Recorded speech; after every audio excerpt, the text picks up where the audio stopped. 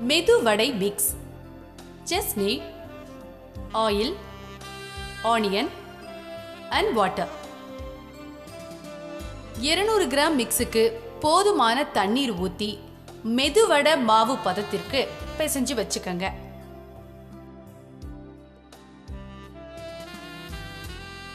ரெண்டுலேருந்து மூணு வெங்காயத்தை நறுக்கி மாவு கூட கலந்து வச்சுக்கோங்க. வடை சட்டியில் எண்ணெயை ஊற்றி மிதமான சூட்டுல காய வைங்க. மெதுவடையை தட்டி எண்ணெயில் நல்லா பொரிச்சு எடுத்துக்கங்க.